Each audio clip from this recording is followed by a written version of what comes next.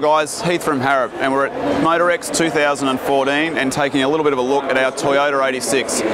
Awesome little car, we're excited to have one on the development fleet, fleet and we've gone straight to work modifying primarily the chassis. Um, everything from brakes using our ultimate brake kit, so it's the same brake kit that we're using on the M3 but it's been modified specifically to suit the 86.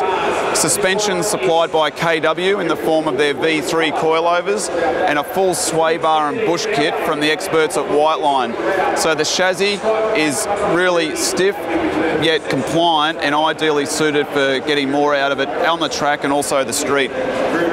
Wheels and tyres, we've worked with Forgeline obviously, and we've got an 18 inch wheel over the 15 inch front rotor, enabling Toyo R888 tyres front and rear, so I think we're running a 235 on the front and a 255 on the back.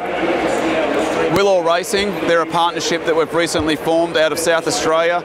They've worked closely on a switchable map that allows E85 fuel as well as 98 regular premium to be uh, premium unleaded to be run on the car and that can be switched depending on the fuel that you're using and also their titanium exhaust takes a little bit more weight out of the back of the car improving balance and performance. So now that the chassis tuning and the wheel and tyre package is sorted and the brakes have got a lot more performance, our attention's to the engine package. So coming soon we've got some significant upgrades using our Harrop know-how and Eaton technology, so stay tuned.